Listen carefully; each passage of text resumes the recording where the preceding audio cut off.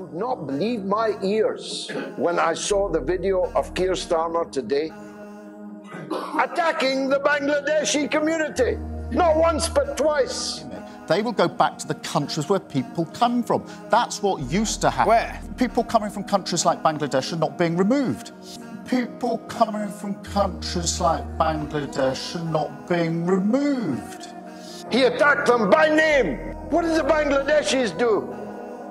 Other than loyally support Labour, generation after generation, only to see themselves on TV being spoken about as if they were illegal aliens arriving on the beach on the south coast. The Bengalis are the hardest working people in Britain, working till two o'clock one o'clock, two o'clock in the morning they get home. They've built a multi billion pound industry in Britain.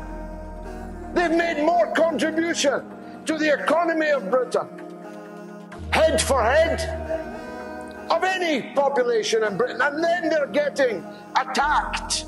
Keir Starmer committed political suicide with the Bengali community in his statements yesterday. When Britain arrived in Bengal, it was the richest place in the world. When Britain left Bengal, it was the poorest place in the world. You don't have to be Einstein to work out what happened in between. The British owe the people of Bangladesh big time. And the fact that instead of repaying that loyalty, they were subjected to that foul racial attack.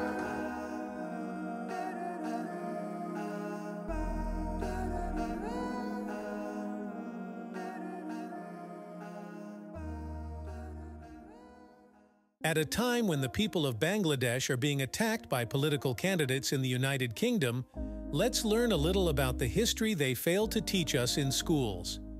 In 1943, during World War II, Bengal, modern-day Bangladesh, and eastern India, which was part of British India at the time, suffered one of the worst famines in history. What makes this famine unique is the fact that it was not caused by drought or flooding. It was a man-made famine sparked by greed and racism. Whilst the world was fighting to save the European Jews, of which around 6 million were reported to have died, 3.8 million people were left to slowly die in the streets of Bengal due to starvation caused by the decisions of British Prime Minister and national hero Winston Churchill. It is also important to note that millions of Indians, Bengalis, and Pakistanis participated in World War I and World War II.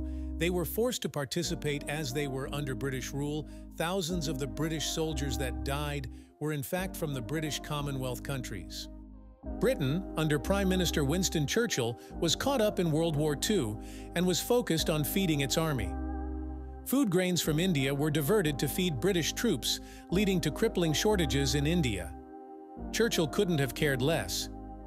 He himself said, I hate Indians. They are a beastly people with a beastly religion.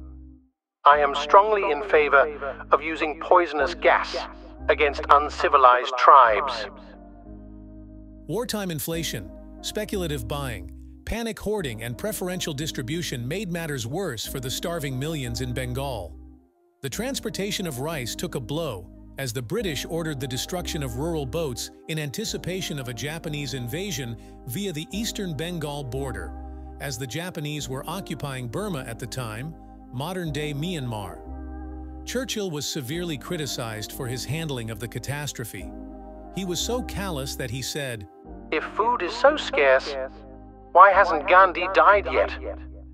The famine destroyed the social fabric of Bengal, and its impact was felt for decades. Families were torn apart, many sold their small holdings, and millions of homeless migrants headed to cities in search of relief and work. The Bengal famine is remembered as one of the most shameful chapters in the history of the British Empire in India. It is undoubted that the British, disillusioned as they were by their racial superiority, tried to dominate over the local people. The most affected region was Kolkata and the state, Bengal, apart from, of course, Africa. Winston Churchill is primarily to be blamed for this famine since his obsessive and ignorant acts gave rise to laws like rice denial, which was the root of the famine followed by environmental reasons. These ultimately led to nearly 5 million deaths in Bengal alone and a few hundred thousand more in states that benefited from Bengal. British ministers knew all too well that the famine was starting, but they willfully obstructed any attempts to save the people, trying to show them the downside of trying to revolt against the masters or the Raj, putting on the cloak of reasoning stating that they needed the rice as ration for the ongoing war. Many texts and papers were written on this, none of which made it into British journals, and the entire episode was hidden from their public, not that their public were concerned to know, but their academic circles too were blinded to such a holocaust. Hence, this famine never really made it into British history textbooks.